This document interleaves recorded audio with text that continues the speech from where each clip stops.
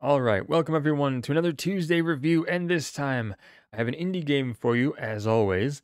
And this is what I would call a Souls Lite game. And I'll tell you more about that, tell you why I would call it that. But this is a Souls Lite, and it's a pixelated game, pixel art game, I guess you can call it.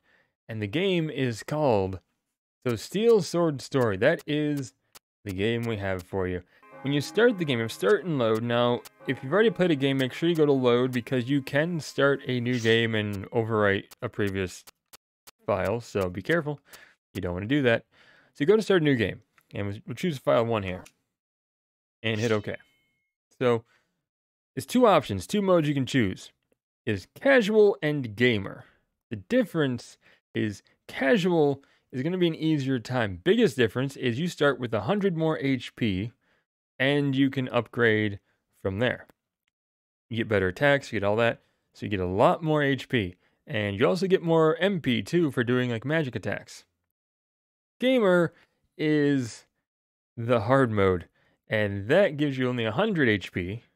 And in both modes, you have like limited amount of, of upgrades you can do for your character. You can't just like make yourself like uber powerful by grinding a whole lot. There is a limit. There's like a cap to make the game still somewhat challenging, you know, somewhat of a challenge to it. Hardcore high level gameplay or simple fun gameplay. Tells you right off the bat what you're in for, what to expect. And boy, when I played this game on Gamer and I beat this game, I completed, I finished this game, it's over. The story behind this is that we're a disgraced knight, The kingdom's been attacked. The castle is burning. We have to get, work our way to the castle. Get to the castle. Save the day, of course. And we got like a attack. We launched this sort of like slashing wave. And because our sword slashes so much that it causes a wave of cutting, of of air, of force, just cutting in front of us as we slash. We can also boom, upward, you know, downwards, upwards, left to right. Very versatile. Controls very responsive. You're not like super floaty. Your character feels like he actually has some gravity to him. Which is kind of nice. You go through, you beat up enemies. I call this Souls Lite because it's really more of a just get good, learn patterns, avoid enemies. It's really more retro inspired than Souls inspired doesn't feel like a Souls game at all. It feels just like a, almost like an old NES game where you had to get good, you had to avoid enemies. You do have a dodge roll so you can avoid. But I do appreciate a dodge roll where you can actually just roll to avoid enemies. You just like an invincibility type thing. Some games have a dodge roll and you're you still take damage from rolling and trying to dodge. So this one actually allows you to dodge through an attack and you don't take damage. So that's kind of helpful. That adds an element of, oh, I can dodge and avoid damage. The name of the game here is just go through, try to beat all the bosses, find all the items, get all the upgrades, beat the final final boss, save the princess, save the kingdom, save the day. We've got a uh, magic attack too. You know, bam, There's healing fountains right here. Upgrades. Uh, ones with red stones, you can upgrade your life. Ones with, I think, green stones, you upgrade your MP. Only so many times, though. Only very limited upgrades.